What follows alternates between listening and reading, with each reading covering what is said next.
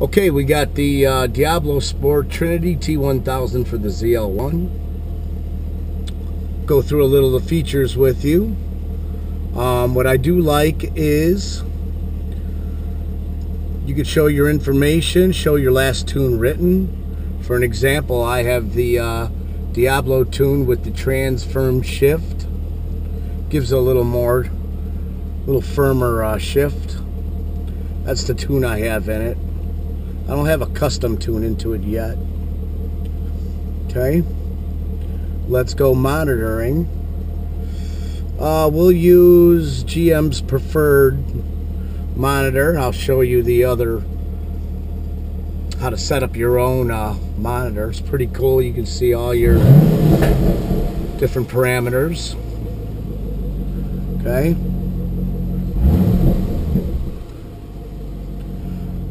I could take you into my own personal.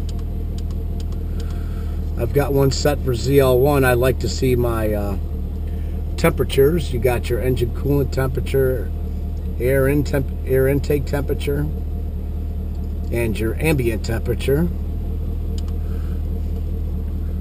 Okay.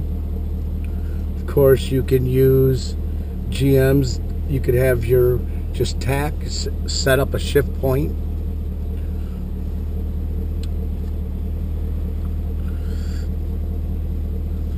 You've got your 0 to 60, 0 to 100, eighth mile, quarter mile.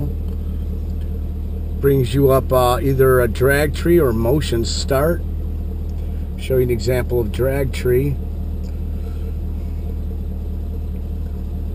It's pretty cool.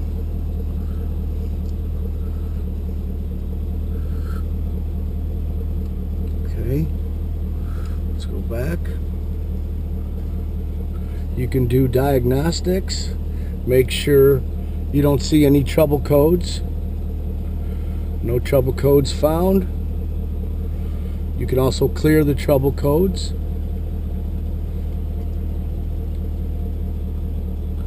Again, I like the new monitoring.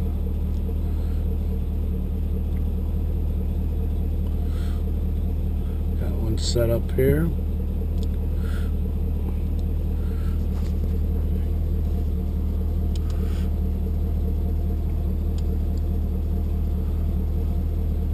Pretty cool.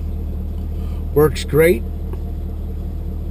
That's the Diablo Sport Trinity T1000 uh, tune for the ZL1.